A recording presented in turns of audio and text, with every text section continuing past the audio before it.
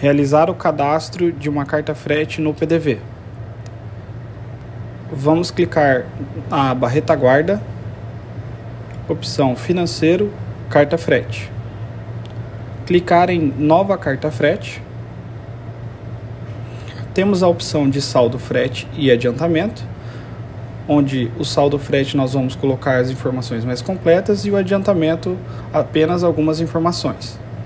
Selecionar o emitente número da carta frete, o tipo de preço aplicado, se é um preço combinado ou não, informar a placa e a data de saída, e também o valor do adiantamento. Clicar em salvar e selecionar o departamento padrão caixa.